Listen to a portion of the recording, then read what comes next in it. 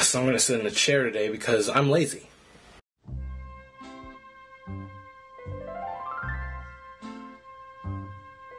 Death. It eventually will consume every living organism on Earth. It's probably one of the worst things that could ever happen to a living thing. I mean, who would want to die? Life is so amazing. It gave you so much a personality, a body, a heart. And other lives have provided things for you. We got cell phones, domesticated animals, really cool robot vacuums, and the television.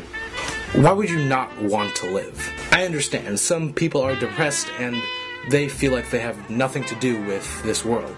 They think they can't get out of it. What I'm about to say next is trying to help the depressed people out there, and I'm sorry for saying this.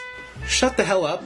You came into this world with a purpose. All you have to do is just find it and pursue it, and you'll be fine. God damn. Be thankful for what you have, and make life worth living. I mean, you only live once, YOLO.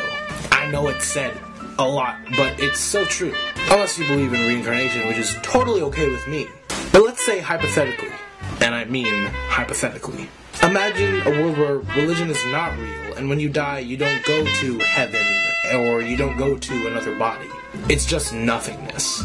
If this is true, which I'm saying may or may not be, live life how you dream for it to be. If you feel you cannot accomplish your dream, then try your best. Because everyone deserves the best.